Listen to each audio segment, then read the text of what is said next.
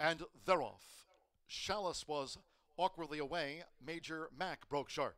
The first time starter, brewing on the outside, sets off in pursuit of Major Mac, who leads them up the back from Manny Esquivel. Brewing running a close second. Dive Bomber taken back there by Fernando la Cruz. Dive Bomber has been passed by Mellifluous, and after breaking awkwardly, Chalice joins the battle going past the half mile.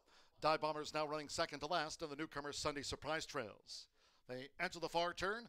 The opening quarter passed in 23.46 seconds. It's Major Mac narrowly as Brewing is right there with the leader for Alberto Burgos, rounding the far turn, and Chalice Coming three wide now for Evan Roman as they line up for the quarter pole. And Dive Bomber starting to gain in the white silks. Mellifluous Vide, but has dropped back on the far outside. And Sunday Surprise has trailed. These maidens turn for home, and it's Chalice. Chalice, after breaking last, is leader while logging in with on the outside Dive Bomber, who's now going in for the attack. And here comes Dive Bomber, who's taking the lead from Chalice past the 16th. Mellifluous is boxing on, then Major Mac and Brewing has dropped away. The son of Omaha Beach with Fernando de la Cruz, Dive Bomber was right on target. Won by three and a half from Chalice, who holds Mellifluous. Major Mac finished fourth.